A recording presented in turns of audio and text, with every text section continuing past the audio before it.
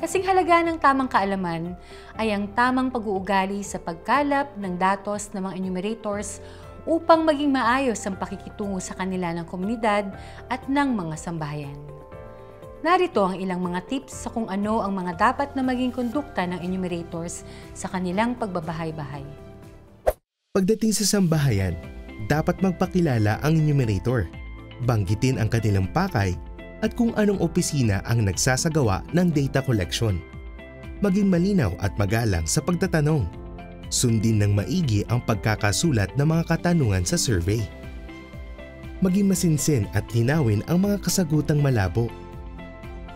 Ilagay ang mga sagot sa data collection tool sa maayos na paraan upang wastong mai-record ang mga ito.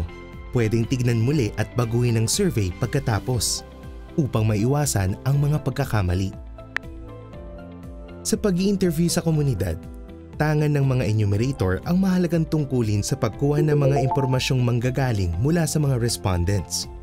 Kailangan nilang maging sigurado sa impormasyon na kinokolekta nila dapat suriin ng mga enumerator kung tama ang nailagay ng mga impormasyon sa Kobo Collect bago tuluyang isumite. Hindi na maaaring galawin o i-edit ang datos kapag naisumite na ito.